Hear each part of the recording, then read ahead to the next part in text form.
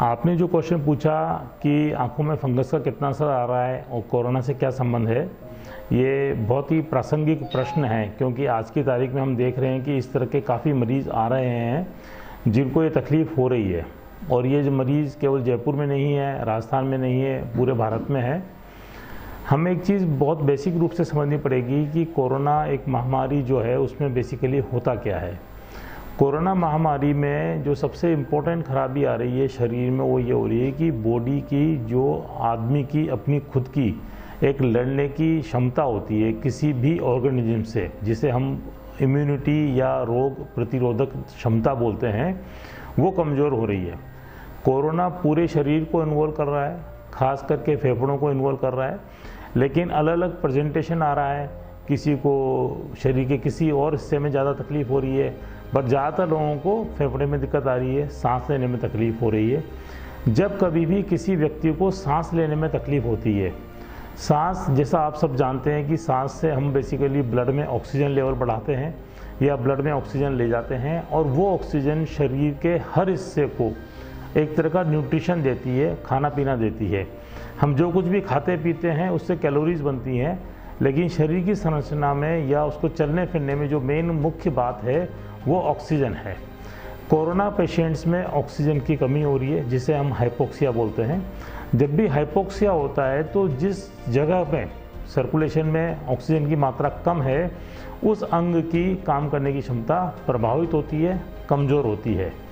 ऐसे समय में क्या होता है, जब कभी भी रोग प्रतिरोधक क्षमता कम हो इम्यूनिटी कमज़ोर हो, शरीर खुद कमज़ोर अवस्था में हो तो ऐसे इन्फेक्शंस जिन्हें हम अपॉर्चुनिस्टिक इन्फेक्शन मतलब अवसरवादी इन्फेक्शंस होते हैं, जिनमें सबसे ज़्यादा अवसरवादिता वाले इन्फेक्शन फंगल इन्फेक्शन होते हैं। कॉमनली बैक्टीरियल इन्फेक्शंस भी होते हैं फंगल भी होते हैं वायरल इन्फेक्शंस भी होते हैं। तो जब कभी भी कोई व्यक्ति कमज़ोर होता है उस पर दूसरे तरह के आ, ऐसी चीज़ें ऐसे ऑर्गेनिज्म जो शरीर में या वातावरण में सामान्य रूप से उपस्थित होते हैं वो भी घातक इन्फेक्शन बनाने लगते हैं। तो सबसे पहली चीज़ ये कि बॉडी कमज़ोर हुई है कमज़ोर होने से जो इन्फेक्शन एनवायरनमेंट में था, मैं उसको एग्जैक्टली इन्फेक्शन नहीं बोलूँगा, जो जर्म्स एनवायरनमेंट में थे, वो शरीर में पहुंचकर नुकसान पहुँचाने लग गए हैं। और ये एक चिंता का विषय है, क्योंकि जो बात हमें समझ में आ रही है कि महामारी अभी ख़त्म नहीं हुई है, ये बहुत अच्छी बात हुई है कि महामारी अब काफ़ी कंट्रोल में आ गई है। काफ़ी हमें बातें पता लगी हैं कि क्या क्या चीज़ें हमें ध्यान रखना है तो महामारी से बचना संभव हुआ है। आम जनता जो अब समझदारी कर कर सभी लोग मास्क पहनने लग गए हैं, आपस में दूरी रखने लगे हैं, सैनिटाइजेशन पर ध्यान देने लगे हैं, हाथों की सफ़ाई रख रहे हैं, शरीर की सफ़ाई रख रहे हैं, जहाँ वो रह रहे हैं, उसकी सफ़ाई बहुत ज़रूरी है। अपॉर्चुनिस्टिक जो चीज़ें, जर्म्स हैं, जो कमज़ोर जर्म्स थे, वो मज़बूत हो जाते हैं जब उनको मौका मिलता है किसी ऐसे शरीर में प्रवेश कर कर परेशानी करने का या बीमारी पैदा करने का कि जो खुद कमज़ोर है। जैसे हम बात करें कि किसी लड़ाई में हम अगर जाते हैं तो कुछ कमज़ोर सैनिक भी दूसरे अच्छे सैनिक को मार सकता है। अगर वो जो अच्छा सैनिक है, बहादुर सैनिक है, उसको ऑलरेडी कोई चोट लग चुकी है, वो अपने हथियार काम में नहीं ले पा रहा है, या अपने शरीर को पूरे ढंग से काम नहीं ले पा रहा है तो कमज़ोर सैनिक भी एक बहादुर सैनिक को मार सकता है। उसी तरह से एक जो नॉर्मल शरीर है, उसको हम बहादुर सैनिक मानेंगे या अच्छा सैनिक मानेंगे, उस पर इस तरह के जर्म्स नुकसान कर सकते हैं। वो बैक्टीरियल भी होते हैं, फंगल भी होते हैं, वायरल भी होते हैं। अभी जो ब्लैक फंगस, जो बहुत कॉमनली चिंता का विषय बना हुआ है, उसका मुख्य कारण क्या है कि ये फंगस खुद जब कभी भी शरीर में जाता है और इन्फेक्शन करता है, वहाँ पर अपनी ग्रोथ को बढ़ाने लगता है तो जिस एरिया में ये होता है, उस एरिया खुद की ब्लड सप्लाई को ये कमज़ोर कर देता है। या बंद कर देता है। जब कभी भी जिस अंग में गया, वहाँ की ब्लड सप्लाई कमज़ोर होगी तो एक तरह से वो जो अंग है, वो काम करने लायक नहीं रहेगा। इस जर्म से लड़ने लायक नहीं रहेगा और वहाँ पर इस जर्म को या इस फंगस को बिना किसी तकलीफ़ के बढ़ने का मौका मिलने लगता है और ये धीरे धीरे ग्रो करता हुआ बहुत तेज़ी से ग्रो करने लगता है। जिस भी जगह सर्कुलेशन बंद होता है, जैसा कि आपने देखा होगा कभी कभी जो खास करके जो काफ़ी लोग जो बीड़ी सिगरेट पीते हैं, उनके पाँवों में गेंग्रीन एक कॉमन सी बीमारी है। पाँव के गेंग्रीन में आपने देखा होगा, पहले उंगली इन्वॉल्व होती है या अंगूठा इन्वॉल्व होता है, फिर धीरे धीरे पंजा इन्वॉल्व होता है, फिर और वो शरीर में बढ़ता जाता है। हमें करना क्या पड़ता है इलाज उसका? उसको हमें काटना पड़ता है। उंगली अकेली हुई है तो हम उंगली काटते हैं थोड़ा और हो गया तो थोड़ा और बड़ा हिस्सा काटते हैं। और जब कभी भी ऐसा करना पड़ता है तो हमें जहाँ तक गेंग्रीन हो चुका है, उससे थोड़ा और ज़्यादा बड़ा हिस्सा नुकसान में काटना पड़ता है बचाने के लिए। तो इसी तरह से ये ब्लैक फंगस सबसे कॉमन रूप में जो अभी आ रहा है, वो नाक में या मुँह में या गले में आ रहा है। हो क्या रहा है कि जब कभी भी ये फंगस, जैसे हम अभी बात करें कि अगर हम सामान्य सांस भी लेते हैं तो ये फंगस जो एनवायरनमेंट में होता है, वो नाक में जाता है, आता है, जाता है, आता है। सफ़ाई होती रहती है, साफ़ होता रहता है इन्फेक्शन नहीं बना पाता है। लेकिन जो व्यक्ति कमज़ोर हैं, जो लगातार बिस्तर पर हैं, जो एक्टिविटी नहीं कर पा रहे हैं, अपने हाइजीन को खास करके जैसे मैं बात करूँ नाक के या मुँह के हाइजीन को अच्छा नहीं कर पा रहे हैं, हाथ धो रहे हैं तो हाथों में इन्फेक्शन नहीं हो रहा है। लेकिन जो व्यक्ति लगातार बीमार रहता है, उसकी ओरल हाइजीन या उसकी नेजल हाइजीन कमज़ोर हो जाती है। ऐसे व्यक्ति जो कहीं ऐसी जगह पर हैं, जहाँ पर कि कोई भी निर्माण कार्य चल रहा है, जहाँ पे धूल मिट्टी का काम हो रहा है, या जो बागवानी हो रही है, या जहाँ पर मिट्टी की उलट पलट हो रही है, वहाँ पर यह फंगस ज़्यादा कॉमन होता है। हर व्यक्ति वहाँ जा रहा हो, ऐसा नहीं है। लेकिन चूँकि ये काम है जहाँ से ये फंगस ज़्यादा बढ़ता है या जहाँ पर ज़्यादा होता है उनके संपर्क में आने वाला व्यक्ति अपने शरीर पर, अपने कपड़ों पर लेकर उस जगह पहुँच सकता है जहाँ पर एक कमज़ोर व्यक्ति उसको मिल गया। और मैं फिर बताना चाहूँगा कि ये फंगस बहुत, जैसे बैक्टीरिया होते हैं, ऐसे बहुत लाइट वेट होता है। हवा में तैरता है, हम जो सांस लेते हैं उसमें अंदर जाता है, बाहर आता है, ऐसा होता रहता है, लेकिन कमज़ोर अवस्था में ये वहाँ पड़ जाता है और अपने नंबर को बढ़ाने लगता है, अपनी ग्रोथ करने लगता है और ग्रोथ करने से उस टिश्यू की डेथ होने लगती है। टिश्यू की डेथ होने से वो काला पड़ने लगता है, इसीलिए इसको हम नाम काला फंगस देते हैं। ये फंगस कोई काले रूप में या काला पार्टिकल नहीं है, जो आपको दिखेगा कि काला काला हो गया है। लेकिन जिस जगह पे भी ये इन्फेक्शन करता है, उसकी डेथ होने से इसमें कालापन आने लगता है। यहाँ पर मैं ये बताना चाहूँगा कि ज़्यादातर व्यक्ति जो चिंता में हैं, उनको ये ध्यान रखना है कि चिंता नहीं रखनी है, लेकिन ध्यान रखना है कि ये किसी को भी हो सकता है। तो जैसे बताया कि क्षमता कमज़ोर होने का मतलब क्या है? सबसे ज़्यादा हमारे यहाँ पे डायबिटीज़ एक कॉमन बीमारी है जिसमें कि इम्यूनिटी कमज़ोर होती है। कभी कभी कुछ लोगों को कैंसर होता है या कैंसर की दवाएँ ले रहे होते हैं या ऐसी दवाएँ जिसे हम स्टेरॉयड बोलते हैं, जो ज़रूरत होने पर प्राण बचाने के काम आती हैं, लेकिन बिना ज़रूरत के प्राण को नुकसान पहुँचा सकती हैं, क्योंकि ये खुद भी इम्यूनिटी को कमज़ोर करती हैं। अभी जैसे आपने कोरोना में पूछा तो कोरोना की बीमारी में जिन लोगों को बॉडी की कंडीशन में स्टेरॉयड की ज़रूरत थी, उनको वो जीवन बचाने में काम आई। लेकिन काफ़ी लोगों ने स्टेरॉयड दवाओं को बिना किसी डॉक्टरी सलाह के या बिना किसी डॉक्टर या हॉस्पिटल केयर के घर बैठे लिया, बाद में लेते रहे। साथ में शुगर का ध्यान नहीं दिया। डायबिटीज़ खुद कोरोना में बढ़ जाती है। जिन लोगों को डायबिटीज़ नहीं थी, उनमें से भी कई लोगों को कोरोना समय में शुगर बढ़ गई है। और स्टेरॉयड लेने से शुगर और बढ़ जाती है, या शुगर कंट्रोल करने के लिए हमें दवाएँ बढ़ानी पड़ती हैं, या इंसुलिन लेना पड़ता है। तो जो लोग शुगर का कंट्रोल नहीं कर पाए, जिन लोगों में शुगर कंट्रोल के बाहर गई, उन लोगों में ये इन्फेक्शन कॉमनली हो रहा है। सौ परसेंट केसेज में डायबिटीज़ बढ़ी हो, ऐसा मैं नहीं कह रहा हूँ। लेकिन मेजोरिटी पेशेंट्स जिनको कोरोना में के बाद ब्लैक फंगस आया है, वो डायबिटीज़ उसमें बहुत कॉमनली थी और कंट्रोल नहीं थी। अभी हम फिगर वाइज बात करें तो इंडिया में 100 से 200 केस ब्लैक फंगस के साल में पहले भी आते रहे हैं। ऐसा रिकॉर्ड अवेलेबल है। लेकिन अभी सडनली ये पाँच सात हज़ार या आठ हज़ार तक भी फिगर पहुँच गई है। जो एक अलार्मिंग बात है, जो एक तकलीफ़ दे बात है। मैं यहाँ पर मरीजों को ये बताना चाहता हूँ कि जिस किसी को भी थोड़ा डाउट है, वो डाउट कब होगा, क्यों होगा कैसे होगा? तो ब्लैक फंगस से पूरे शरीर में कहीं भी इन्फेक्शन हो सकता है। अभी जो बात कर रहे हैं, उसमें सबसे कॉमन इन्फेक्शन नाक में हो रहा है, फिर गले में हो रहा है। उसके बाद लंग्स में हो रहा है। लेकिन अगर नाक में या गले में इन्फेक्शन होगा तो जो चीज़ें हम घर रहते भी कर सकते हैं, वो मैं यहाँ बताना चाहता हूँ कि सबसे पहले नाक में अगर इन्फेक्शन होगा तो नाक में या नाक के आसपास सूजन आएगी। तो किसी भी व्यक्ति को अगर एक नाक की तरफ़ या दोनों तरफ़ सूजन आ रही है दर्द हो रहा है, सांस में दिक्कत आ रही है, नाक को साफ़ करते समय ब्लड आ रहा है, या घर पे हम नाक को देखें, किसी हिस्से में ब्लैकनिंग हो रही है, या गले में बात करें तो किसी दांत में दर्द हो रहा है उस दांत के दर्द के पास वाले हिस्से में ब्लैकनिंग हो रही है, सूजन आ रही है, चेहरे पे सूजन आ रही है, उसके साथ सूजन बढ़ती चली जा रही है हेडेक हो रहा है, जो एक्सप्लेन नहीं हो रहा है मतलब कि उसको कोई तकलीफ़ ज़्यादा नहीं है, लेकिन ब्लड प्रेशर की तकलीफ़ भी नहीं है और बट हेडेक हो रहा है, जो समझ में नहीं आ रहा है। सांस में दिक्कत आने लगी, उल्टी करने के टाइम खून आने लगा है। तो ये कॉमन प्रेजेंटेशन है। या कभी भी किसी व्यक्ति की हालत ठीक होने के बाद बिना किसी कारण के डिट्योरेट हो रही है मतलब वापस कमज़ोरी आ रही है, और बाकी टेस्ट उसके नॉर्मल आ रहे हैं तो उन लोगों को हाई संभावना है कि शायद फंगस इन्फेक्शन किसी भी तरह का। फंगस में ब्लैक से मतलब नहीं है। फंगस कॉमन जो फंगस होते हैं म्यूकर एक है जो बहुत कॉमन नहीं है। जो कॉमन इन्फेक्शंस हैं, वो कैंडिडा और एस्परजिलोसिस है। वो भी फंगल इन्फेक्शंस इस तरह की कंडीशंस में ज़्यादा होते हैं। फॉर्चुनेट बात क्या है कि कैंडिसा कैंडिडा से या एस्परजिलोसिस से सडन डेथ नहीं होती है, या सडनली वो किसी चीज़ को बिल्कुल बेकार नहीं कर सकता है।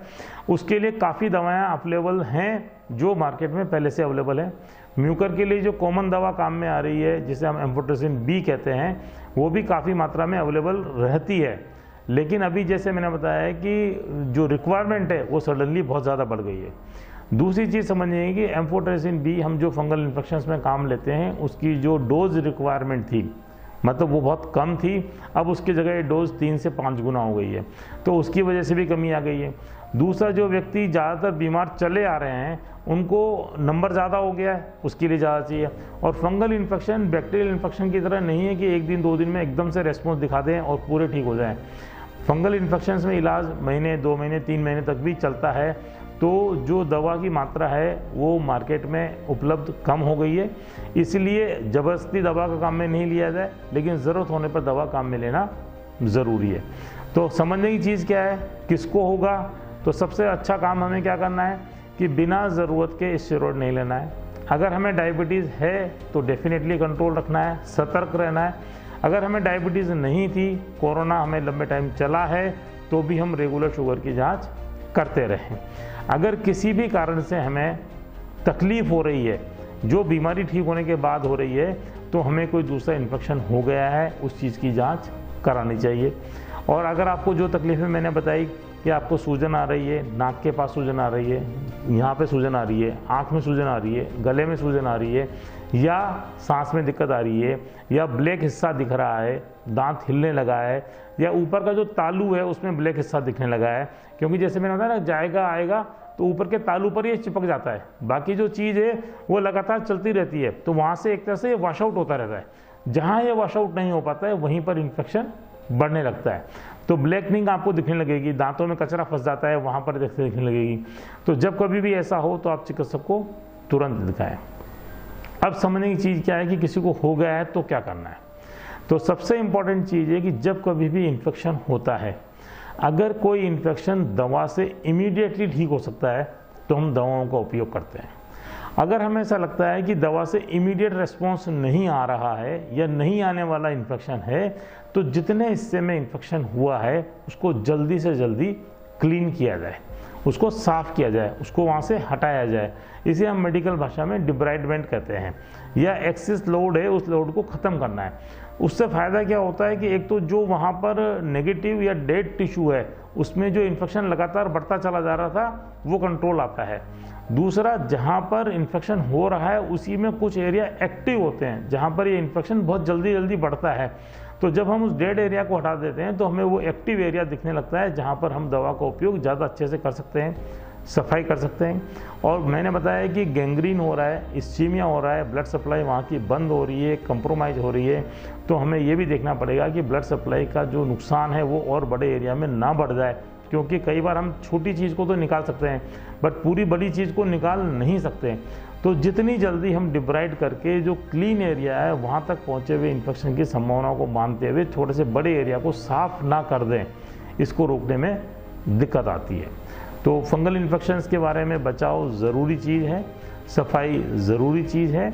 ज़रूरत होने पर इमीडिएटली ट्रीटमेंट लेने से हम ब्लैक फंगस से होने वाले मेजर नुकसान से बच सकते हैं।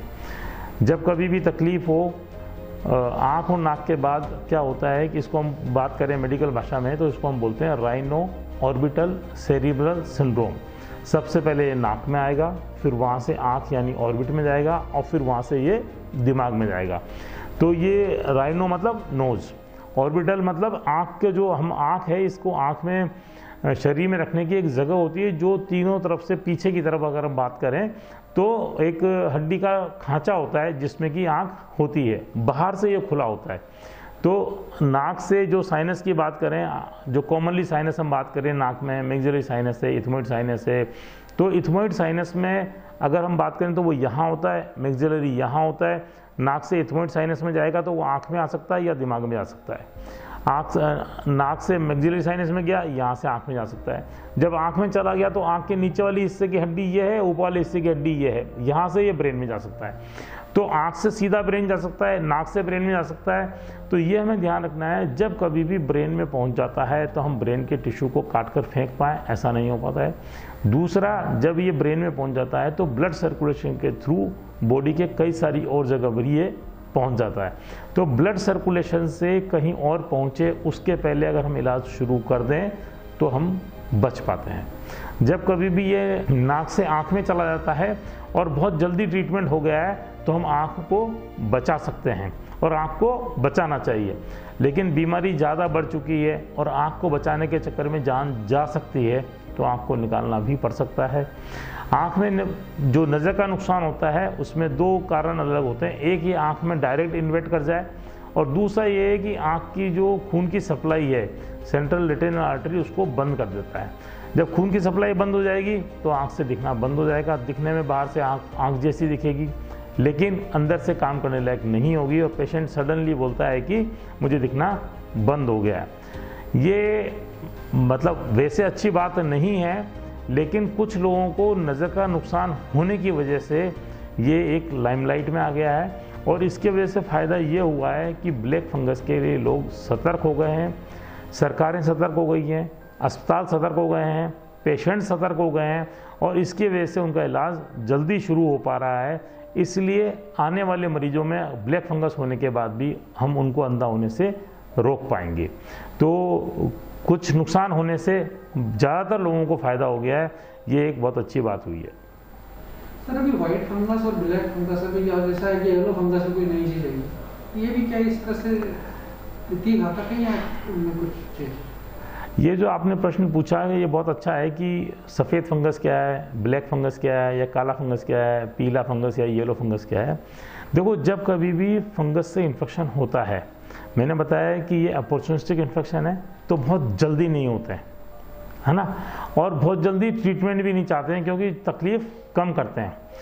इनमें हम बात करें जो सफ़ेद फंगस है, जो कॉमनली होता रहा है और काफ़ी लोगों में अभी भी है, उसका कोरोना से डायरेक्ट संबंध नहीं है, लेकिन वो संबंध ज़रूर है कि जब कभी भी इम्यूनिटी कमज़ोर होगी बॉडी उससे नहीं लड़ पाएगी तो सफ़ेद फंगस कॉमनली लिया जाएगा। हम बात करें मुँह में, गले में या नाक में सफ़ेद फंगस जो कॉमनली होता था, वो उन लोगों को होता था जो कुछ दवाइयाँ जिन्हें हम अस्थमा के लिए काम में लेते हैं, वो मुँह से या नाक से लेते थे, पफ जिन्हें बोलते हैं हम, और वो दवा जब वहाँ जमी रहती है काफ़ी देर तक, उसमें स्टेरॉइड भी होते हैं नॉन स्टेरॉयडल दवाएँ भी होती हैं, या जो लोग गले को लगातार साफ़ नहीं करते हैं उन लोगों में धीरे धीरे ये इन्फेक्शन हो जाता था। जिन लोगों को कोई भी लंबी बीमारी होती थी और घर पे रहते थे, कुल्ला नहीं कर पाते थे, मंजन नहीं कर पाते थे, गले की सफ़ाई नहीं कर पाते थे, उनको भी ये फंगस इन्फेक्शन कैंडिडा वाला हुआ करता था, जिसको हम ओरल थ्रश बोलते हैं। तो जो कुछ भी इन्फेक्शन हो रहा है, उससे जो शरीर में नुकसान हो रहा है और जो हमें दिख रहा है, उसके हिसाब से हम कलर से बोलते हैं। ब्लैक फंगस, मैंने बताया कि खून की सप्लाई बंद हो गई, इसलिए वहाँ पर डेड टिश्यू होगा, वो ब्लैक हो जाएगा। जहाँ पर कैंडिडा इन्फेक्शन हो रहा है, वो वहाँ पे कैंडिडा की मेम्ब्रेन बनती जाती है और धीरे धीरे दिखती है सफ़ेद जैसी, वो सफ़ेद फंगस है। जब कभी किसी इन्फेक्शन के साथ पस बनने लग जाएगा तो वो पीलापन दिखाई देगा। तो पीलापन दिखाई देगा तो हमें उसको येलो फंगस देंगे। बट फंगस में खूब सारी प्रजातियाँ होती हैं, खूब सारे उनके वेराइटी होती हैं। जैसे बैक्टीरिया में अपन कॉमनली जानते हैं कि ये अलग नाम है बैक्टीरिया के। ऐसे फंगस के भी खूब सारे नाम हैं। तो जब कभी भी जिस पर्टिकुलर फंगस से या जिस किसी इन्फेक्शन से जो प्रेजेंटेशन आता है, उसके हिसाब से उनको हम नाम दिया जिससे आम आदमी इसको समझ सके। सर बेसिकली ये जो फंगस की प्रॉब्लम है, ये मतलब इम्यूनिटी कमज़ोर में डायबिटीज़ या इस तरह के और भी पेशेंट होते हैं, जैसे बीपी की प्रॉब्लम है इन तरह के लोगों को ज़्यादा संभावना थी हार्ट पेशेंट्स के लिए। बीपी अकेले की प्रॉब्लम से ब्लैक फंगस या कोई भी तरह का फंगस आएगा, ऐसा नहीं होता है, क्योंकि जिनको ब्लड प्रेशर ज़्यादा होता है, उनको मोटे रूप में शरीर में उनकी लड़ने की क्षमता कमज़ोर नहीं होती है। लेकिन डायबिटीज़ से ऐसा होता है मैंने बताया ना, कुछ पेट की खराबी में होती है लगातार जिनकी वजह से माल न्यूट्रिशन आता है प्रोटीन्स की कमी होने लगती है तो बॉडी की फाइटिंग कैपेसिटी कम हो जाती है। कुछ दवाइयाँ होती हैं जिसे हम कैंसर में काम में लेते हैं, वो दवाइयाँ होती हैं। कुछ दवाइयाँ ऐसी होती हैं जो क्रॉनिक इन्फ्लामेशन में, जब हमारे को जैसे घुटने की सूजन की बात करें, शरीर के किसी भी हिस्से में जब लगातार सूजन आती है तो उसमें हम इम्यूनो सप्रेसिव दवाएँ काम में लेते हैं, शरीर को बचाने के लिए, या शरीर में जब कभी ऐसा होता है कि बॉडी की खुद के टिश्यू के खिलाफ बॉडी की इम्यूनिटी उसके अगेंस्ट में काम करने लगती है। इसे हम ऑटो इम्यून डिसऑर्डर्स बोलते हैं, जिसमें बॉडी खुद की इम्यूनिटी होते हुए भी बॉडी के टिश्यू को ऐसा मान रहा है कि ये एक बाहरी वस्तु है और उसके खिलाफ इम्यून रेस्पॉन्स यानी कि उससे लड़ने लगता है और उसके लड़ने से उसके शरीर को नुकसान होता है, क्योंकि जब भी एंटीबॉडी रिएक्शन आती है किसी एंटीजन के खिलाफ तो वो शरीर को नुकसान करती है। अगर ये बीमारी के खिलाफ आती है तो ये शरीर को फ़ायदा करती है। तो जब खुद की बॉडी के अगेंस्ट काम करने लगती है तो इसको हम ऑटो इम्यून डिसऑर्डर बोलते हैं। तो इन केसेज में हम इम्यूनिटी को कम करने के लिए लिमिटेड रूप में कम करने के लिए कुछ दवाएँ काम में देते हैं। या जैसे किसी को किडनी ट्रांसप्लांट हुआ है तो उसको हम दवाएँ देते हैं, जिससे कि बॉडी उस टिश्यू को जो बाहर से हमने शरीर में लिया है, उसको रिजेक्ट ना कर दे। ऐसे ही और भी तरह के ऑर्गन ट्रांसप्लांटेशन होते हैं, जिसमें हम उसको थोड़ा सा रेस्पॉन्स को कमज़ोर रखते हैं। ऐसे जितने भी मरीज़ होते हैं, आपने पहले भी देखा होगा, जिनको हम किडनी ट्रांसप्लांट करते हैं, उनको हम बोलते हैं, जब भी आप पब्लिक में जाएँ तो मास्क लगा के जाएँ। क्योंकि हमें मालूम है कि सबसे कॉमन इन्फेक्शन जो एनवायरमेंट से आएगा, वो मुँह से, नाक से आएगा। इसलिए मास्क प्रोटेक्शन बहुत ज़रूरी है। सेम चीज़ कोरोना में है, कि एनवायरनमेंट से आने वाले इन्फेक्शन को रोकने के लिए हम मास्क पहने। और मास्क में पहनने में जो चीज़ समझने की है ना, ये कोरोना को बताना नहीं है कि देखो मेरे पास ये कोई चीज़ है, और ये मास्क है, ऐसा नहीं है। उसमें से कितनी चीज़ छन कर अंदर जा पा रही है, उसको वो रोक पा रहा है या नहीं रोक पा रहा है, वो मास्क है। काफ़ी लोग आपने देखा हुआ साड़ी का पल्लू आगे कर लेते हैं, रुमाल आगे रख लेते हैं, हाथ से ऐसे पकड़ लेते हैं, वो मास्क का काम नहीं कर रहा है। मास्क का काम ये कि आने से वाली, जो एनवायरनमेंट की हवा है या जो भी चीज़ आके इस पर टकरा रही है, वो इसके थ्रू अंदर नहीं जा पा रही है मेजर रूप में। बिल्कुल ज़ीरो होगा तो आदमी सांस ही नहीं ले पाएगा। लेकिन जो पार्टिकल साइज़ है, अगर वो पॉइंट बहुत कम रह गया है, तीन माइक्रोन एक माइक्रोन पाँच माइक्रोन पचास माइक्रोन ऐसे अलग साइज़ के मास्क आते हैं।